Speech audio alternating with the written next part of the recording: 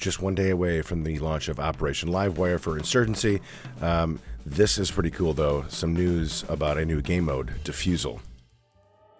So, still no word yet on whether or not we're getting a new map. Still hopeful that that's uh, certainly going to happen. We have to wait and see until tomorrow, I guess. But what we do have is solid concrete evidence of a new game mode and also a video from New World Interactive about Defusal. Welcome to Operation Livewire. Today we'll be talking about our explosive new objective-based PvP mode, Defusal. In Defusal, the insurgent forces must plant time charges to detonate two chemical weapon caches, while the security forces attempt to repel their attacks and hold the line until the round timer expires. Each team's respawn zone is located toward the edge of the play area. However, the first security force's spawn of each round is closer to the target objectives, allowing them to set up defensive positions to prepare for the inevitable insurgent assault. In order to destroy the chemical caches as the insurgent forces, you must plant the timed explosive and then defend it for the full duration of its 40 second fuse. Should security forces get to the charge and begin to defuse, you will have a 5 second window in which to neutralize the defender.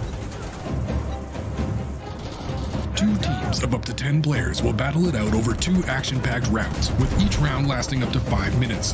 However, it is important to note that if the insurgents successfully destroy one of the objectives, the 5-minute round timer will reset.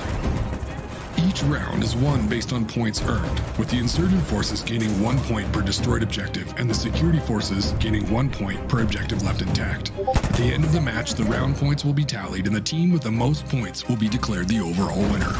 If both teams have the same amount of points, the match will end in a draw. The available classes in Defusal are Rifleman, Breacher, Advisor, Demolitions, Marksman, and Gunner. At launch, Defusal will be available on the following levels.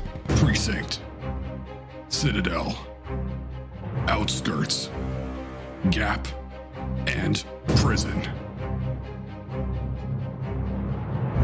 Operation Livewire. See you in the field, soldier. So finally, a true bomb defusal mode for Insurgency, something that I think a lot of people who play this game were both surprised and uh, uh, you know, disappointed didn't exist already. We're getting it now. You're going to be able to play this live with the rest of Operation Livewire starting tomorrow. Uh, can't wait to get in. Hope you guys are having a great week. Listen, if you enjoyed the video, please give it a like. Maybe subscribe to the channel if you haven't already. I appreciate it very much. We'll see you later.